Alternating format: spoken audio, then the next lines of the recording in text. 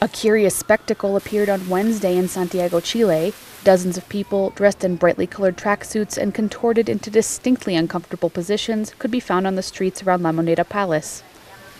These people weren't part of a new planking trend. In fact, they are performers from the Bodies in Urban Spaces show, a part of the theater festival Santiago a Mil. Renowned Austrian theater company Willi Dorner uses the human body to paint city monuments throughout the world.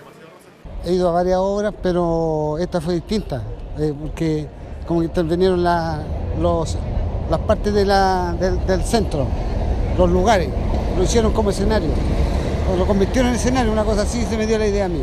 Entonces lo encontré espectacular, bonito y con alta fuerza de los muchachos.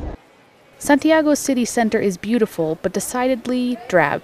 These colorful artists become human clay, molding themselves in and around the area, making it seem as if they were always there, just unnoticed until now. Espectacular. Me encanta tener la oportunidad de ver lugares que por lo general uno pasa desapercibido de esta manera. Es fascinante poder recorrer la ciudad de una manera distinta, poder eh, valorar no lugares. The Santiago a Mil Festival is hosting 60 shows from 25 international theater companies at different places throughout the city. The festival will continue until January 20th.